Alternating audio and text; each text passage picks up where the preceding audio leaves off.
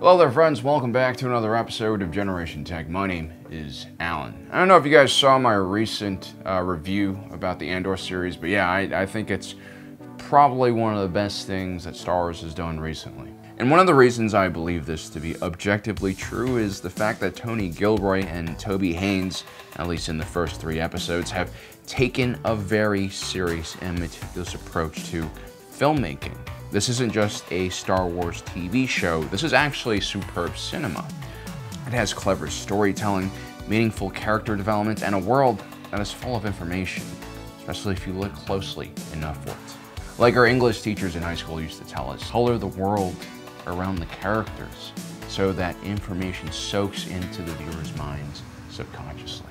So far, Andor has been extremely abundant and rich in detail.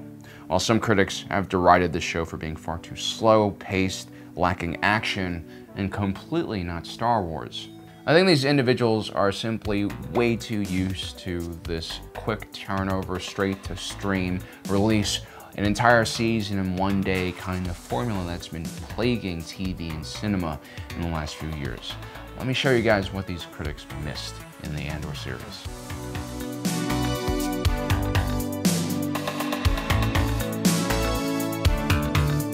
So this is one of my favorite scenes in the new Andor series. It's hilarious and tells you more than you need to know about the character Deputy Inspector Syril Karn. This is some beautiful show, don't tell. Have you modified your uniform? perhaps slightly. Pockets piping, some light tailoring. Poor Chief Inspector, he just wants to retire in peace, and he has to deal with his asshat. So, what exactly did the Deputy Inspector modify? Well, let's take a look. First, he moved the patch on their uniform from just next to his left armpit to the upper chest area a bit higher than where his heart should be. He's also increased the height of his collar just a little bit. Next, Syril has taken what honestly is a frumpy looking tunic that would be a better fit on a janitor or a mechanic under their coveralls and created a vest of some sort. I'm not sure if it's removable or designed to just look removable. He's taken the orange and red piping to the next level and given the collar and the straps on his vest a bit more of a lining. Next, it seems like he's included some hard inserts, maybe made out of Duraplas, into his vest. I think this is to give it some shape so it looks more like body armor. Actually, this could be a thin profile blaster protection vest, but since Deputy Inspector Karn is a dweeb, I'm going to say this is probably just for aesthetics.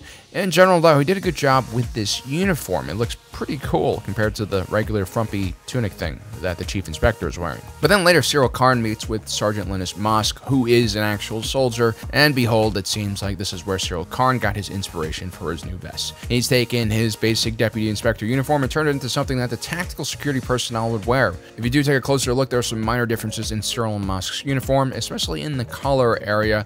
Also, the pauldron area has a different pattern, and the coloring on the piping is a bit different.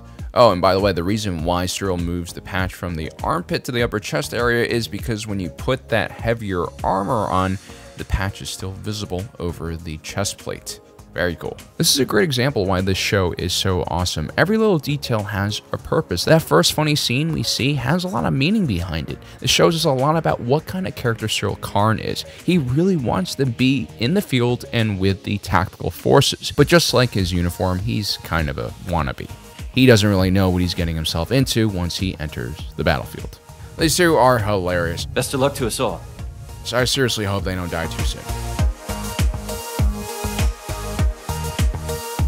Now, since the first time I saw the trailer for Andor, I knew that the bell tower was going to be important somehow to the main story.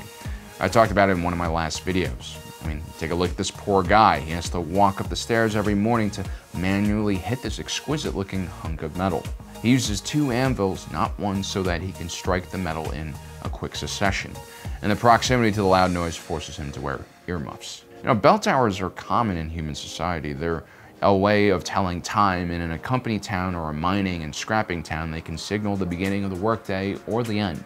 But these things can be modernized relatively easily. I mean, you can make an electronic speaker that just belts out the sound. You can make some kind of mechanical device to strike that metal. Heck, you could even have a rope or chain that extends to the ground floor that you could pull so you don't have to climb up that thing every day.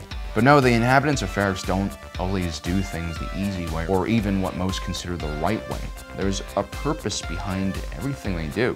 an appreciation for hard work and labor in this case. If you take a closer look at the anvil itself, we see that it has beautiful, intricate engravings all over it. Yet at the same time, this hunk of metal is struck by heavy hammers every day but has no marks or dents in it, which tells me that this most likely is made out of some very high quality metal. Maybe it's Durasteel or something that comes off of a starship or some larger structure.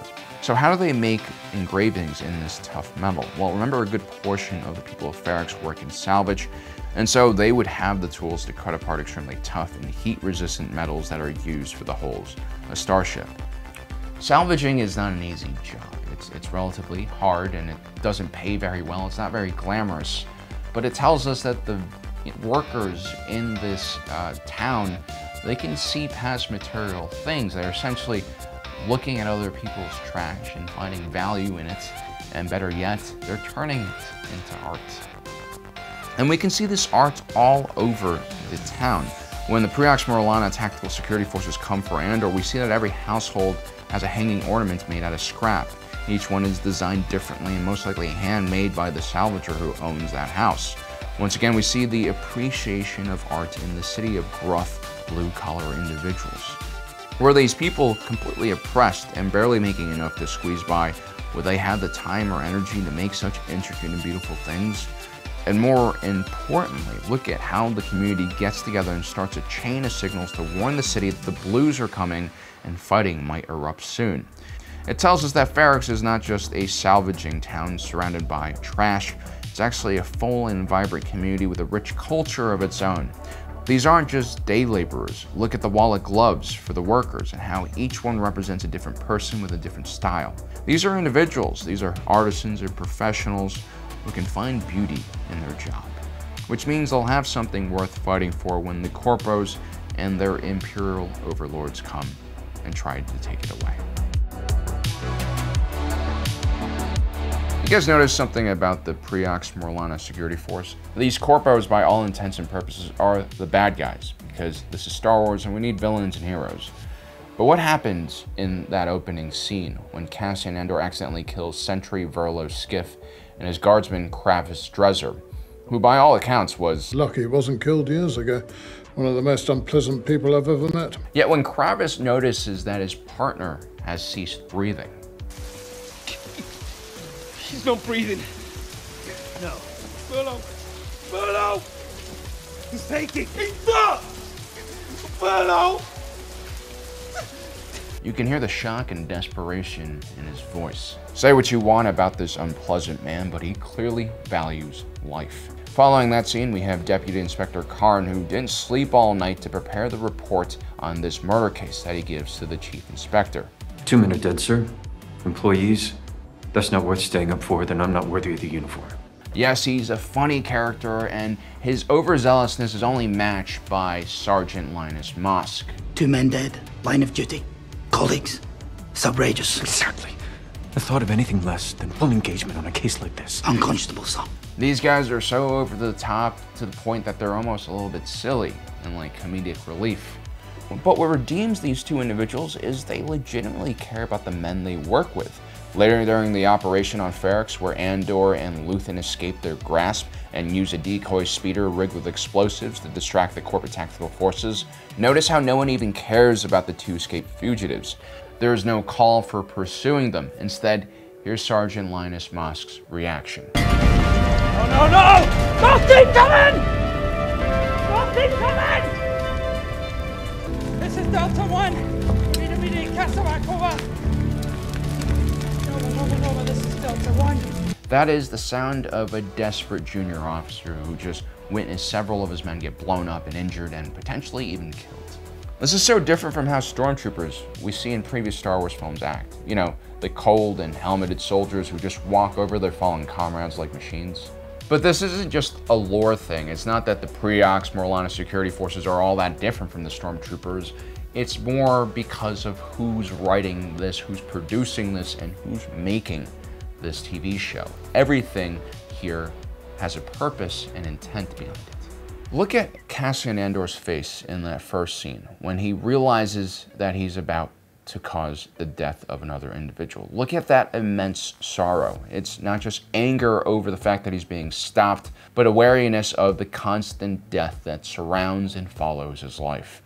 As a matter of fact, when I saw Andor's face and, and the expression on it, it really reminded me of that picture of Zelensky when he first visited those mass graves in Bucha for the first time. A lot of people say that Andor is way too dramatic and way too adult and gritty, but I would argue that Star Wars for the longest time has had this really bizarrely casual approach to death that runs completely counter to their supposedly child-friendly entertainment style.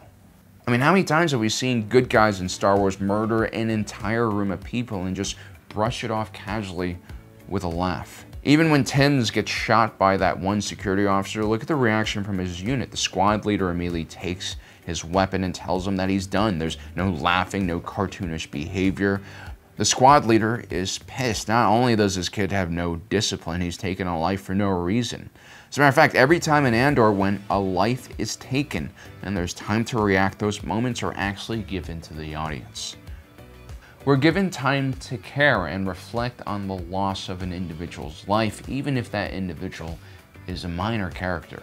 That's where Rogue One excelled at highlighting the little guy. For the first time in that film, we saw a rebel soldier's death have the same weight as a Jedi or a senator's. And that's because, as we'll talk more about later, everything in Andor has a really severe weight and heft to it. And you can clearly see that the writers who wrote this and the directors who, who directed the actors really paid attention to these minute details, which is of course more rewarding for the viewer. And more importantly, Andor is brutally honest about what death is. It's, it's not fun, it's not to be celebrated over or high-fived over.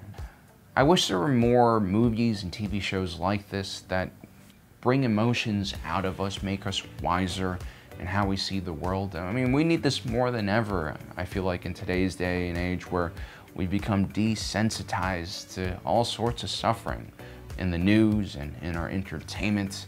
I mean, I remember when COVID struck New York and thousands of people died here, how so many people laughed at the city's inability to prevent those people from dying. And I also remember when Texas had those terrible storms during the winter and people froze to death in their houses, how people laughed and, and made fun of their energy grid. I mean, it just shows us this disconnect we have from suffering. Like there's truly nothing really that funny about death. And that's why TV shows like this and movies like this that try to bring out that empathy, you know, from the audiences are actually very important for society as a whole. And it's completely hypocritical that Star Wars up until this point didn't allow for any sex scenes or profanity in fear of corrupting young children or, or, offending people, but it allowed for wanton amounts of death and destruction to occur on screen without so much as pausing even a second to reflect on it.